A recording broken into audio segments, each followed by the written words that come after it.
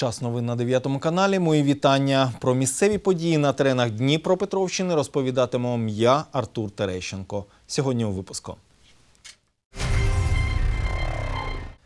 Здай кров і скуштуй млинець. У банку крові провели святкову акцію для донорів. Нову редакцію положення бюджету участі обговорили у Дніпрі разом із учасниками програми. 366-й день високосного року. Хто і чому вирішив додавати одну добу до лютого? Починаємо випуск із теми, яку активно обговорює увесь світ. Коронавірус. Отже, маю інформацію: дві лікарні нашого регіону готові приймати хворих і надавати їм медичну допомогу. Про це повідомив Олександр Бондаренко, голова Дніпропетровської облдержадміністрації. Валерій Сердюк, директор обласного департаменту охорони здоров'я, зазначив, що станом на 27 лютого жодного зареєстрованого випадку коронавірусу в Дніпропетровській області немає. А 21 лікарня Дніпра та перша інфекційна лікарня Кривого Рогу готові приймати потенційних пацієнтів. Мы готовы на сегодняшний день разместить э, 300 человек. В общем-то, наши все инфекционные отделения способны разместить порядка 628 человек. Это т- трансформироваться в э, такие, э, ну, согласно э, вот таких противоэпидемических инфекционных мероприятий срочных.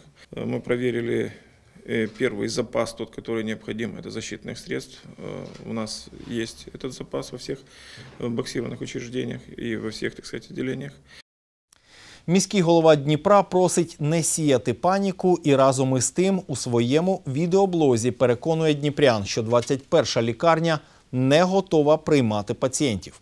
Якщо коронавірус з'явиться у Дніпрі, то лікувати хворих буде нічим, зазначив він. 21-я городская инфекционная больница, которую определили основной в случае вспышки заболевания, не имеет ни медикаментов, ни защитных костюмов, ни денег на их приобретение. Предусмотренный на экстренный случай запас лекарств хватит максимум для 10 человек. Это то, что город купил за свой счет. При этом областной департамент здравоохранения, определивший нашу больницу в качестве опорной еще 1 февраля, почти месяц молчит и не решил вопрос с финансированием. Они просто не отвечают на наши письма. У прес-службі міської ради 9 каналу відмовили в коментарі від представників 21-ї лікарні із проханням знову ж таки не сіяти паніку. Мовляв, офіційна позиція буде тільки у вівторок. Тим часом в області працюють чотири бригади швидкої допомоги. Вони готові транспортувати людей із підозрою на вірус.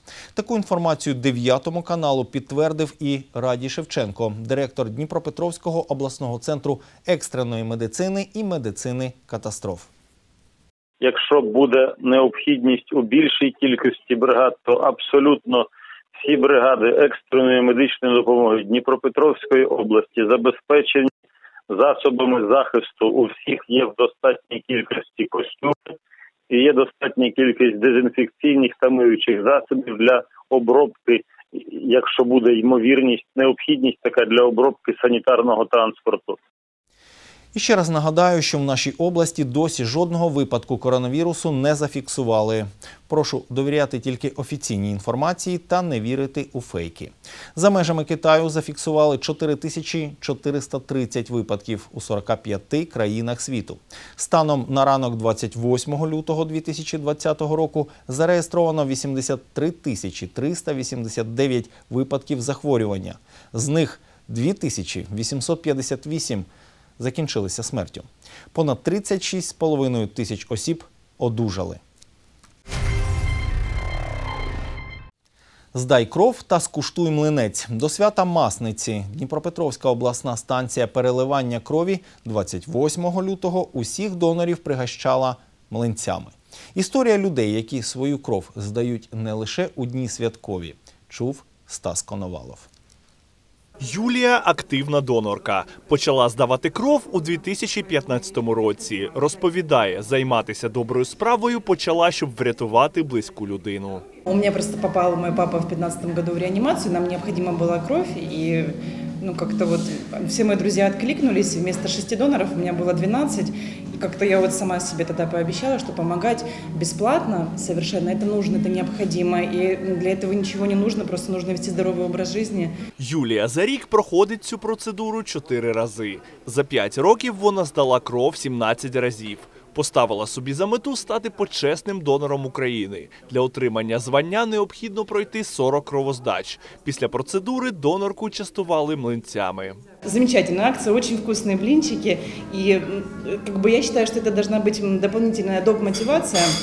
Э, Как бы это приятное завершение вот этой процедуры как бы сдачи своей кро- крови и помощи другим людям, которые нуждаются в этом. Роздачу нетипових для донорів смаколиків приурочили до масляної. Сьогодні було спечено більше 100 млинців. У нас акції ці проводяться регулярно. В цьому місяці це вже друга акція. Перша акція була на День закоханих. З 9 години вже пройшло більше 50 донорів. До млинців пропонували і різні заправки. Вишня, мед, клубника, абрикоса и слива.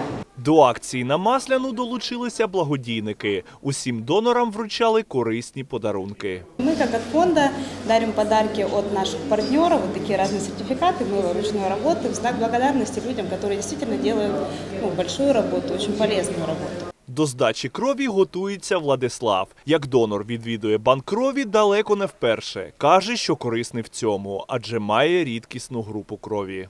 У меня третя отрицательная, рідка група крові. Ну, таких кров, кров мало, як я знаю. У мене в сім'ї тільки у троих человек така група группа Их крови не хватает. Лікарі кажуть, що донорство не тільки можливість врятувати чиєсь життя, воно також корисне для власного здоров'я. Ці донори, які регулярно здають кров або плазму, йде поновлення е, клітин крові, стимуляція кровотворної імунної системи. Уже от е, період е, січень-лютий, коли люди хворіють, ті люди, які регулярно здають кров, вони менше хворіють на простудні, вірусні інфекції, знижується ризик захворювань серцево-судинними захворюваннями, інфаркт міокарда, теросклероз сосудів. Це теж гіпертонічна хвороба менше зустрічається. Практично вони менше боліють, а некоторі взагалі не боліють. Вони приходять і говорять, ми себе дуже гарно чувствуємо, коли здаємо кров. Стас Коновалов, Олександр Височин. Новини 9 каналу. На продовження теми донорства на підтримку двох пацієнтів реанімаційного відділення дитячої обласної лікарні в Дніпрі розпочалася безстрокова донорська акція. Наразі кров, а точніше плазму крові збирають для Єгора та Ані. Перший юний мешканець Нікополя тиждень тому їхав проїжджою частиною на велосипеді, не впорався із керуванням і втрапив під колеса мікроавтобуса. Також кров збирають для трирічної Ані, яка 23 лютого гралася із братом, оступилася і сіла у відро із окропом. Дитина має 50% опіків тіла. Обидві дитини в реанімаційному відділенні обласної дитячої лікарні. Благодійники закликають усіх небайдужих допомогти. На сегодняшний момент Егорке уже немножко, легше, легче. На сегодня Анечку готовят уже ко второй операции. Эти дети ну, как нуждаются очень в препаратах, также они нуждаются в донорах по, по плазме, Э, потому что детям вливают в организм э, плазму, то есть это э, альбумин. Один флакон альбумина стоит приблизительно 1000 1200 гривен. В сутки где-то 4-5 флаконов уходит на двоих деток, то есть это большие деньги. Эта акция, она бессрочная, так как мы не, мы не знаем, сколько нужно будет этим детям еще препаратов и сколько они будут находиться на лечении в областной детской больнице. Любой человек может в любой день сдать э, кровь, э, пл- плазму, м, э, банки крови на первом этаже червоной линии. То есть это- э, они также само работают и в субботу. То есть без проблем ну, в любой день могут прийти сдать. Наш центр э, находится по адресу э, проспект Богдана Хмельницкого, 17. Э, Мы находимся в здании областной станции переливания крови. Э, Мы находимся на первом этаже. У нас отдельный свой вход с вывеской «Червона линия». Значит, прием доноров у нас э, будет, идет с 8 до 5 вечера. Новий етап з новим положенням. Зміни до головного документу бюджету участі обговорили у міській раді Дніпра разом із активними учасниками програми. Зокрема, якщо проект не встигли втілити за рік, його можна доробити згодом. Також доповнять розділ етики. Нова редакція положення має враховувати усі зауваження, що з'явилися на попередніх етапах програми. Георгій Марков розповість далі. Дніпровська художниця Ольга Рекун – переможниця першого етапу міської програми «Бюджет участі». На початку 18-го року вона презентувала свій проєкт – відновлений будинок бускового кольору на вулиці Матроській. Тоді, розповідає, хотіла втілити ідею у тому будинку, в якому мешкає сама, але зрештою відремонтували сусідній. Я проживаю в будинку ОСББ, і тоді мені не дозволили втілювати цей свій проект саме в моєму будинку. Сказали, бери будь-який будинок, тільки Жековський, тільки не ОСББ. Я, я і, на, і нині теж не розумію, чому це так. На прикладі свого вже реалізованого проєкту пані Ольга хоче перетворити увесь квартал на етнографічний комплекс. Чи можна буде це зробити в рамках бюджету участі, поки невідомо. Якщо ні, то художниця сподівається все ж таки відновити свій будинок. Це будинок, е, які м, колись полонені німці їх будували.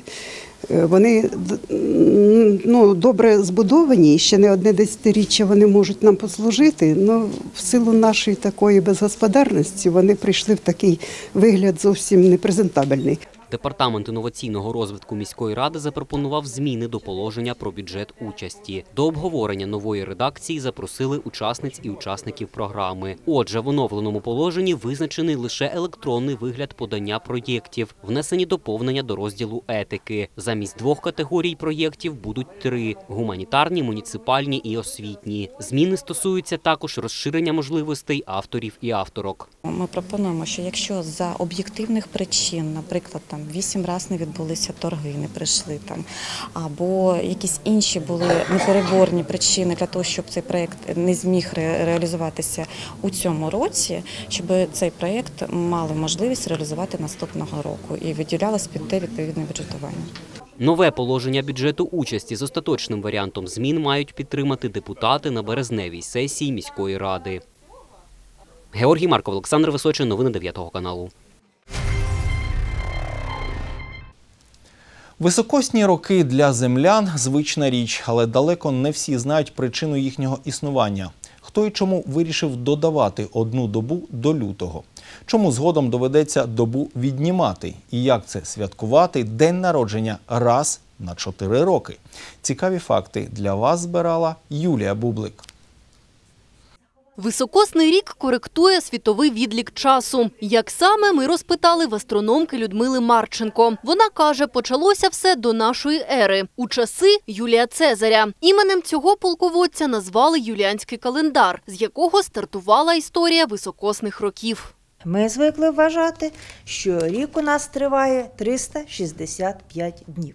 Але Всесвіт не захотів брати до уваги рівні числа, і виявилося, що Землі для того, щоб здійснити один оберт навколо Сонця, потрібно не 365 днів, а 365 днів і майже 6 годин. Чотири рази по 6 і ми отримуємо лишню добу.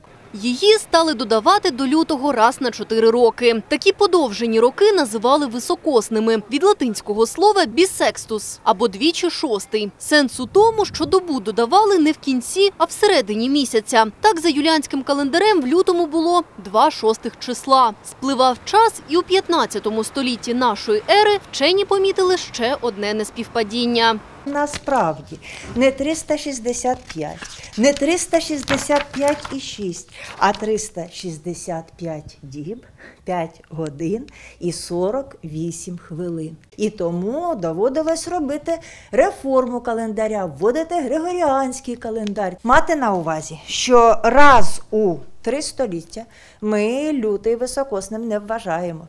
Утім, і ця похибка не остаточна. Нині різниця між реальним рухом Землі і системою відліку часу складає 26 секунд на рік. До 4909 року набіжить ціла доба, і треба буде знову підправляти календар під рух небесних об'єктів.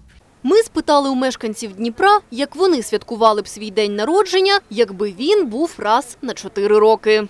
Мені здається, що кожен, е, хто народився 29 лютого, може відзначати свій день народження, наприклад, 1 березня. М, Можливо, в ніч з 28 лютого на 1 березня. На всю катушку. Ну, я как бы приспособилась бы к этому. Не- Не делала бы из этого, из этого проблему. Я б моложе була. Ви так Один за чотири. Ну, можна було б кудись з друзями поїхати на відпочинок в якусь іншу країну. Головне святкувати з тими людьми, які тобі рідні, які е, близькі до твого серця, яким ти довіряєш на всі сто. Ви готові були б так от там раз на 4 роки в реальності? Ні, не готові. Ні, не готові.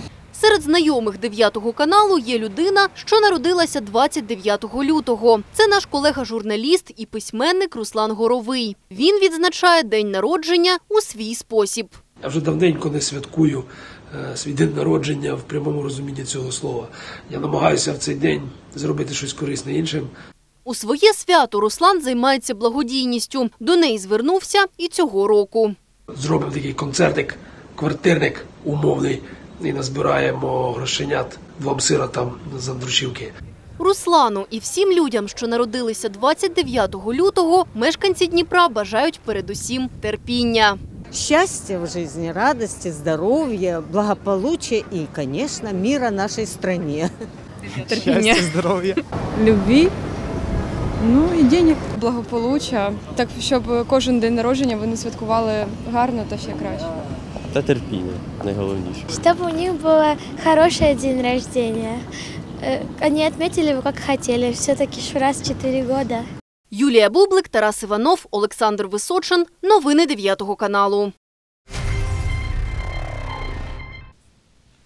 Вони так само унікальні, як і ті, хто свій день народження відзначає раз на 4 роки. Міжнародний день рідкісних захворювань або орфанних щороку відзначають 28 лютого, а у високосний рік 29-го. У нашому місті так само є ті, хто має рідкісні захворювання, борються з ними, лікують і разом із тим втілюють свої мрії. Дев'ятий канал підтримує кількох таких пацієнтів. Їхні історії ми розповідаємо в проєкті Дніпро Добро. Просто зараз триває аукціон на підтримку 10-річного Михайла Грязнова. Його історія вразила ведучу культурного меню Яну Кондратєву.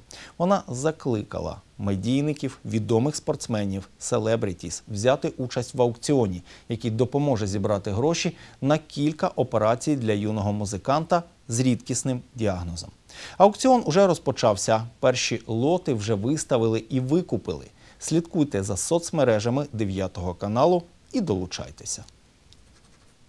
Нещодавно ми познайомились, я вже казала, з дуже цікавим хлопчиком на ім'я Міша.